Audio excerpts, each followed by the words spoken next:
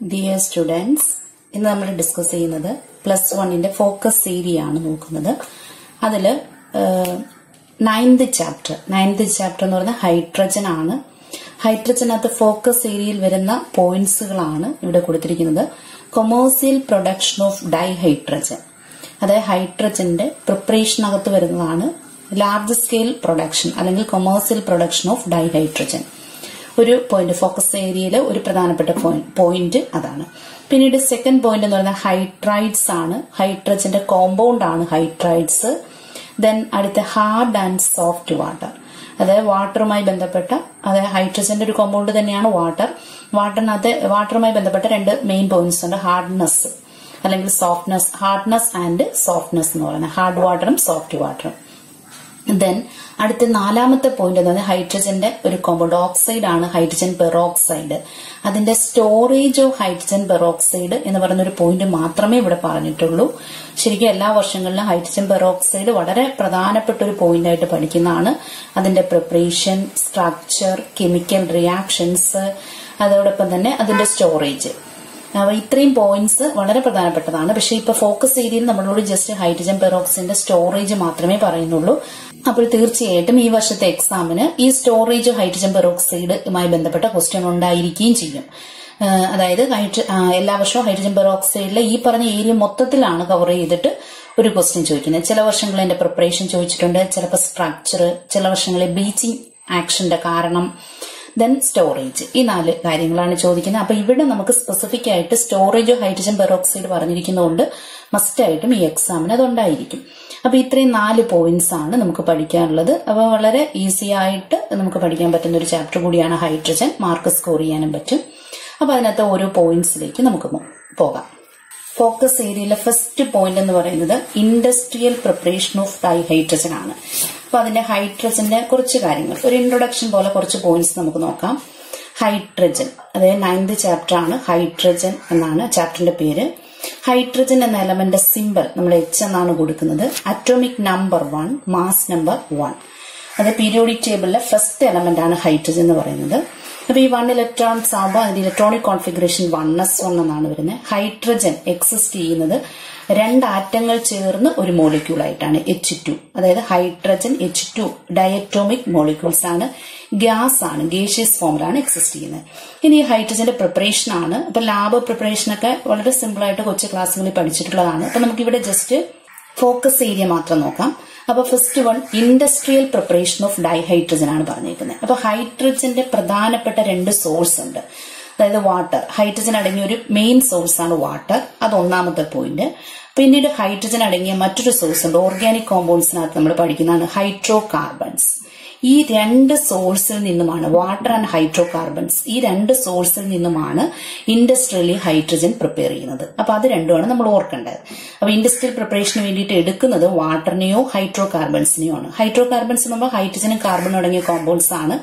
ഏറ്റവും സിമ്പിളാസ്റ്റ് സിമ്പിൾ ആയിട്ടുള്ള hydro carbons മീതേനാണ് ഒരു കാർബണ് ഉള്ള hydro carbons C H four അതിലെ ഫസ്റ്റ് വാട്ടർ എടുക്കുകയാണ്. വാട്ടറിന്റെ water ഉപയോഗിച്ചുകൊണ്ടുള്ള first process by electrolysis of water അതായത് വാട്ടറിനെ ഇലക്ട്രോളിസിസ് നടത്തുന്നു. ഫസ്റ്റ് പോയിന്റ് എന്ന് പറയുന്നത് ഇലക്ട്രോളിസിസ് ഓഫ് വാട്ടർ ആണ്.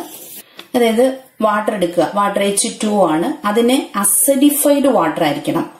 അതായത് പിന്നെ വാട്ടർ ന്യൂട്രൽ വാട്ടർ എടുത്ത് ഹൈഡ്രോളിസിസ് നടത്തിയാൽ നമുക്ക് ഹൈഡ്രജൻ കിട്ടില്ല. ഇത് അസഡിഫൈഡ് വാട്ടർ ആയിരിക്കണം. അസഡിഫൈഡ് വാട്ടർ എടുത്ത് ഹൈഡ്രോളിസിസ് നടത്തുമ്പോൾ കിട്ടുന്ന ഹൈഡ്രജനും ഓക്സിജനും കിട്ടുന്നുണ്ട്. H two plus O two ഇപ്പൊ ടു എച്ച് ടു ഒ നമുക്ക് ഇക്വേഷൻ ബാലൻസ് ചെയ്ത് തന്നെ എഴുതാം. Two H two O gives two H two plus O two എന്ന് പറഞ്ഞത് അപ്പൊ ഇവിടെ നടക്കുന്ന പ്രോസസ് ആണ് ഇലക്ട്രോളിസിസ് അസഡിഫൈഡ് വാട്ടർ എടുത്ത് ഹൈഡ്രോളിസിസ് നടത്തുന്നു. ലിക്വിഡ് ഫോമിലാണ് വാട്ടർ ഇടുന്നത് ഹൈഡ്രജൻ ഗ്യാസ് ആണ് ഓക്സിജൻ ഗ്യാസ് ആണ്. പിന്നീട് ഇലക്ട്രോളിസിസുമായി ബന്ധപ്പെട്ട പല പോയിന്റ്സ് ഉണ്ട്. ഇലക്ട്രോളിസിസ് നടത്തുമ്പോൾ അതിനകത്ത് കാഥോഡ് വേണം. കാഥോഡ് റിയാക്ഷൻ ഉണ്ട്. രണ്ടാമത് ആനോഡ് വേണം. അപ്പൊ കാഥോഡ് ആനോഡ് അല്ലെങ്കിൽ ഇലക്ട്രോഡുകൾ വേണം. അതോടൊപ്പം തന്നെ ഇലക്ട്രോളിസിന് നമ്മൾ ഇലക്ട്രോലൈറ്റ് എടുക്കുന്നു. ഇലക്ട്രോലൈറ്റ് മീൻസ് ഇവിടെ അസിഡിഫൈഡ് വാട്ടർ ആണ്. കാഥോഡും ആനോഡുമായിട്ട് ഇവിടെ ഉപയോഗിക്കുന്നത് പ്ലാറ്റിനം ഇലക്ട്രോഡ്സുകളാണ് പ്ലാറ്റിനം ഇലക്ട്രോഡ്സിനെ ഉപയോഗിച്ചുകൊണ്ടാണ് നമ്മൾ ഇലക്ട്രോളിസിസ് നടത്തുന്നത്. അതിൽ ഹൈഡ്രജൻ എന്ന് പറയുന്ന കാഥോഡിലും ഓക്സിജൻ ആനോഡിലും കിട്ടുന്നു. നമുക്ക് വേണ്ടത് ഹൈഡ്രജൻ ആണ്. ഹൈഡ്രജന്റെ ഇൻഡസ്ട്രിയൽ പ്രിപ്പറേഷൻ ആണ് നമ്മൾ നോക്കുന്നത്. അപ്പൊ ഹൈഡ്രജന്റെ നിർമ്മാണത്തിന് വേണ്ടിയിട്ട് ഇലക്ട്രോളിസിസ് ഓഫ് വാട്ടർ ആ ഒരു പോയിന്റ് എഴുതിയാൽ തന്നെ നമുക്ക് മാർക്ക് കിട്ടും. ഇനി അതല്ലെങ്കിൽ ഈ ഇക്വേഷൻ ഈ ബാലൻസ്ഡ് ഇക്വേഷൻ എഴുതിയാൽ നമുക്ക് ഫുൾ മാർക്ക് കിട്ടും. എനി വൺ മെത്തേഡ് എന്ന് ചോദിച്ചാൽ ഈ ഒരു മെത്തേഡ് എഴുതിയാൽ മതി. ഏറ്റവും സിമ്പിൾ ആയിട്ട് നമുക്ക് ഓർക്കാൻ പറ്റുന്നത്. ഇനി കുറച്ചുകൂടി കാര്യങ്ങൾ അതിനകത്ത് നോക്കാം. The electrolysis of acidified water using platinum electrodes gives hydrogen at the and oxygen at the anode അവിടെ നടക്കുന്ന നെറ്റ് റിയാക്ഷൻ ആണ് കാണിച്ചിരിക്കുന്നത്. എച്ച് ടു അസിഡിഫൈഡ് വാട്ടർ എടുത്ത് ലിക്വിഡ് ഫോമിലാണ് ഇലക്ട്രോളിസിസ് നടത്തുന്നു. ഹൈഡ്രജൻ ഗ്യാസും ഓക്സിജൻ ഗ്യാസും കിട്ടുന്നുണ്ട്. ഇനി നമുക്ക് ഇലക്ട്രോളിസിസ് എന്ന് പറയുന്ന പ്രോസസ് തന്നെ നടത്താം. അതിനകത്ത് കുറച്ചുകൂടി പ്യൂരിഫൈഡ് ആയിട്ടുള്ള ഹൈഡ്രജൻ കിട്ടണമെങ്കിൽ ninety nine point nine five percentage hydrogen വേണം. High purity hydrogen is prepared by the electrolysis of aqueous barium hydroxide solution using nickel electrodes ഈ പോയിന്റ് കൂടെ ഒന്ന് നോട്ട് ചെയ്തുകൊള്ളുക ബേരി ഹൈഡ്രോക്സൈഡ് അക്വസ് സൊല്യൂഷൻ എടുത്തിട്ട് nickel ഇലക്ട്രോഡ്സിന്റെ സാന്നിധ്യത്തിൽ electrolysis നടത്തുകയാണെങ്കിൽ ninety nine point nine five percentage high പ്യൂരിറ്റിയുള്ള ഹൈഡ്രജനെ നമുക്ക് നിർമ്മിച്ചെടുക്കാം. അപ്പൊ ഈ ഒരു പോയിന്റ് മതി. ഇത് നന്നായിട്ട് പഠിച്ചാൽ മതി. ഇനി അടുത്ത നമ്മൾ വാട്ടർ എന്ന് പറഞ്ഞു. വാട്ടർ ഉപയോഗിച്ച ഒരു സോഴ്സ് മെയിൻ സോഴ്സ് വാട്ടർ എന്ന് പറഞ്ഞു. വാട്ടറിന്റെ മറ്റൊരു റിയാക്ഷനും കൂടെ ഉണ്ട് അതും വളരെ പ്രധാനപ്പെട്ടതാണ്. ആ ഒരു പ്രോസസ് നമ്മൾ പി ബ്ലോക്ക് എലമെന്റ്സിനകത്ത് കാർബൺ മോണോക്സൈഡ് എന്ന് പറയുന്ന ഒരു ഫോക്കസ് ഏരിയ ഉണ്ട്. അവിടെ പഠിക്കുന്ന സമയത്ത് നമ്മളവിടെ ഉപയോഗിക്കുന്ന ഒരു റിയാക്ഷൻ കൂടിയാണ്. കാർബൺ മോണോക്സൈഡിന്റെ പ്രിപ്പറേഷനും ഇതിനകത്ത് ഇൻക്ലൂഡ് ചെയ്യുന്നതാണ്. അപ്പൊ ഈ പ്രോസസ്സിന് പറഞ്ഞ പേരാണ് ബോഷ് പ്രോസസ് അപ്പൊ സ്പെസിഫിക് ആയിട്ട് ക്വസ്റ്റ്യൻ ബോഷ് പ്രോസസ് ചോദിച്ചാൽ നമുക്ക് ഈ പ്രിപ്പറേഷനെ എഴുതാൻ പറ്റുള്ളൂ. അതുകൊണ്ട് നെയിം ആയതുകൊണ്ട് നമ്മളിത് ശ്രദ്ധിച്ച് പഠിക്കുക. ബോഷ് പ്രോസസ് അതായത് എന്താണ്? When super heated steam is passed over red hot coke a mixture of carbon monoxide and hydrogen is obtained this mixer is known as water gas ഇത് ഓൾറെഡി പഠിച്ചതാണ്. വാട്ടർ ഗ്യാസ് എന്താണെന്ന് വെച്ചാൽ a mixer of carbon monoxide and hydrogen carbon monoxide എന്നത് CO hydrogen H two ഇതിന്റെ മിക്സറിനെയാണ് നമ്മൾ carbon ഇതിന്റെ മിക്സറിനെയാണ് നമ്മൾ വാട്ടർ ഗ്യാസ് എന്ന് പറയുന്നത്. അപ്പൊ ഇവിടെ കാർബൺ മോണോക്സൈഡിന്റെ പ്രിപ്പറേഷനും ഹൈഡ്രജന്റെ പ്രിപ്പറേഷനുമായിട്ട് നമുക്ക് ഇവിടെ ഉപയോഗിക്കുന്നതാണ്. അപ്പൊ ഇവിടെ എന്താ ചെയ്യുന്നതെന്ന് വെച്ചാൽ സ്റ്റീം എടുക്കുക. Steam means H two water തന്നെയാണ്. സൂപ്പർ ഹീറ്റഡ് സ്റ്റീം അതാണ് ഇവിടെ temperature one thousand two hundred and seventy five kelvin temperature കൊടുത്തേക്കുന്നത് super heated steam is passed over red red hot coke red hot coke means coke carbon കാർബണിനകത്തൂടെ pass ചെയ്യിപ്പിക്കുന്നു. ഇപ്പൊ കാർബണും ഓക്സിജനും കൂടെ ചേർന്ന് കാർബൺ മോണോക്സൈഡ് കിട്ടുന്നു ഹൈഡ്രജനും കിട്ടുന്നുണ്ട്. അപ്പൊ this mixer is known as water gas ഇനി പ്രിപ്പറേഷൻ എന്ന് പറയുമ്പോൾ ഇവിടെ ഈ പോയിന്റ് കൊണ്ട് നിർത്തുകയല്ല ചെയ്യുന്നത് ഇതൊരു ഫസ്റ്റ് സ്റ്റേജ് ആയിട്ട് കൺസിഡർ ചെയ്യുക. ഇനി ഒരു പോയിന്റ് ഇവിടെ പറയുന്നുണ്ട്. ഈ മിക്സർ നമ്മൾ മറ്റുള്ള പല ഓർഗാനിക് കോമ്പൗണ്ട്സിന്റെ പ്രിപ്പറേഷന് വേണ്ടിയിട്ട് ഉപയോഗിക്കുന്നുണ്ട്. എക്സാമ്പിൾ ആയിട്ട് പറയാം മെത്തനോൾ ഒരു കാർബൺ ഉള്ള ഒരു ഓർഗാനിക് കോമ്പൗണ്ടാണ് മെത്തനോൾ അപ്പൊ ആ മെത്തനോളിന്റെ ഒക്കെ നിർമ്മാണത്തിന് വേണ്ടി ഉപയോഗിക്കുന്നുണ്ട്. ഈ മിക്സറിന് നമ്മൾ മറ്റൊരു പേര് കൂടി പറയുന്നുണ്ട് syn gas or synthesis gas മറ്റുള്ളവർ സിന്തസൈസ് ചെയ്യാൻ വേണ്ടി ഉപയോഗിക്കുന്നു. As this mixture of carbon monoxide and hydrogen is used for the synthesis of methanol and a number of hydrocarbons അതായത് മെഥനോൾ കൂടാതെ പല ഹൈഡ്രോകാർബൺസിന്റെയും സിന്തസിസിന് വേണ്ടിയിട്ട് ഉപയോഗിക്കുന്നു so it is called synthesis gas or syn gas ഈ വേർഡ് നമ്മൾ ഓർത്തിരിക്കണം. അതായത് water gas carbon monoxide and carbon monoxide carbon monoxide and hydrogen അതിനെയാണ് നമ്മൾ വാട്ടർ ഗ്യാസ് എന്ന് പറയുന്നത്. ഇതിന് മറ്റൊരു പേരുണ്ട്. സിന്തസിസ് ഗ്യാസ് അല്ലെങ്കിൽ syn gas S Y N G A S syn gas എന്തുകൊണ്ടാണ് അങ്ങനെ പറയുന്നതെന്ന് ചോദിച്ചാൽ പല ഓർഗാനിക് കോമ്പൗണ്ട്സുകളുടെ മെത്തനോൾ അല്ലെങ്കിൽ ഹൈഡ്രോ കാർബൺസിന്റെ ഒക്കെ നിർമ്മാണത്തിന് വേണ്ടിയിട്ട് ഈ മിക്സറിനെ ഉപയോഗിക്കുന്നുണ്ട്. അതുകൊണ്ടാണ് അവരെ synthesis gas or syn gas എന്ന് പറയുന്നത്. ഇനി നമ്മൾ മറ്റൊരു പോയിന്റ് കൂടെ ഓർക്കുക. ഈ സിൻ ഗ്യാസ് പ്രിപ്പയർ ചെയ്യാൻ വേണ്ടിയിട്ട് നമ്മൾ ഇപ്പൊ തൊട്ട് മുമ്പത്തെ പ്രൊസീജിയർ പറഞ്ഞ എന്തായിരുന്നു? സിൻ ഗ്യാസിന്റെ പ്രിപ്പറേഷൻ അതായത് സിൻ ഗ്യാസ് നിർമ്മിക്കുക അല്ലെങ്കിൽ വാട്ടർ ഗ്യാസിന്റെ നിർമ്മാണം എന്ന് പറയുന്നത് സ്റ്റീം സ്റ്റീമിനെ നമ്മൾ റെഡ് ഹോട്ട് കോക്കിൽ കൂടി പാസ് ചെയ്യിപ്പിക്കുന്നു. അപ്പോഴാണ് എന്ത് ചെയ്യുന്നത്? ഇത് രണ്ടും കൂടെ ചേർന്ന് കാർബൺ മോണോക്സൈഡ് ആൻഡ് ഹൈഡ്രജൻ അല്ലെങ്കിൽ this is known as water gas or syn gas or synthesis gas എന്ന് പറയുന്നത്. At a temperature one thousand two hundred seventy five degree kelvin temperature എന്ന് പറയുന്നുണ്ട്. അപ്പോൾ ഈ നിർമ്മാണം ഈ പ്രിപ്പറേഷൻ ഇൻഡസ്ട്രിയൽ പ്രിപ്പറേഷൻ ഇതിന് ഇതേപോലെ തന്നെ കോളിൽ നിന്ന് നമുക്ക് ഇത് നിർമ്മിച്ചെടുക്കാം വാട്ടർ ഗ്യാസ് നിർമ്മിച്ചെടുക്കാം. ആ പ്രോസസ്സിനെ പറയുന്ന പേരാണ് കോൾ ഗ്യാസിഫിക്കേഷൻ എന്ന് പറയും. അതും പരീക്ഷയ്ക്കൊക്കെ ചോദിച്ചിട്ടുള്ളതാണ്. That is the process of producing syn gas from coal is called coal gasification അത്രയും കൂടെ ഓർത്തിരിക്കുക. ഇനി നമുക്കിവിടെ കിട്ടിയേക്കുന്നത് കാർബൺ മോണോക്സൈഡ് ആൻഡ് ഹൈഡ്രജൻ ആണെന്ന് പറഞ്ഞു. ഇനി ഈ കാർബൺ മോണോക്സൈഡിനെ നമുക്ക് കാർബൺ ഡൈ ഓക്സൈഡ് ആക്കി മാറ്റുക. Carbon dioxide plus hydrogen. അടുത്ത സെക്കൻഡ് സ്റ്റേജ് ഇതാണ്. അപ്പൊ ആദ്യം വാട്ടർ ഗ്യാസ് പ്രിപ്പറേഷൻ നടത്തി. ആ വാട്ടർ ഗ്യാസ് കിട്ടിക്കഴിഞ്ഞാൽ അതിനകത്തുള്ള കാർബൺ മോണോക്സൈഡിനെ കാർബൺ ഡൈ ഓക്സൈഡ് ആക്കി മാറ്റുക. ഈ കാർബൺ ഡൈ ഓക്സൈഡിന്റെ പ്രത്യേകത which is highly soluble in water വാട്ടറിൽ സോളുബിൾ ആണ്. കാർബോണിക് ആസിഡ് ആയിട്ട് മാറും. അപ്പോൾ വാട്ടറിൽ സോളുബിൾ ആണെങ്കിൽ അതിനെ അങ്ങ് സെപ്പറേറ്റ് ചെയ്ത് മാറ്റാം. പിന്നെ നമുക്ക് എന്ത് മാത്രമേ ഉള്ളൂ? ഹൈഡ്രജൻ മാത്രമേ ഉള്ളൂ. അപ്പൊ ഹൈഡ്രജന്റെ പ്രിപ്പറേഷൻ എന്ന് പറയുമ്പോൾ പ്യൂർലി ഹൈഡ്രജനെ മാത്രം ഒപ്റ്റെയിൻ ചെയ്യുന്ന സ്റ്റേജ് വരെ എത്തിക്കുക എന്നുള്ളതാണ്.